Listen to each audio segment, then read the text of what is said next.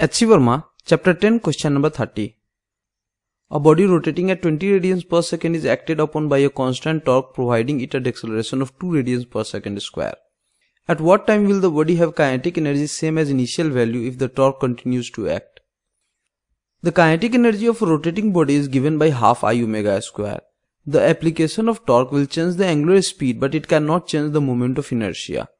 The final kinetic energy is same as the initial kinetic energy this is possible only when the final angular speed is same as the initial angular speed.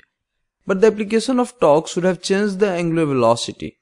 There is only one way by which we can change the velocity but keep the speed same. That is to reverse the direction. This means the final angular velocity is negative of the initial angular velocity. This means the final angular velocity is minus 20 radians per second.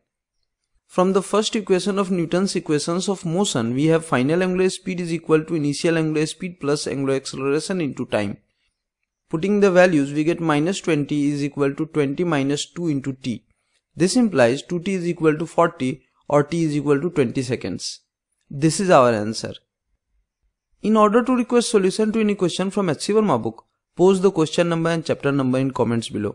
Like and share the video to help other students find us. Subscribe the channel, like our Facebook page and follow us on Twitter for latest updates.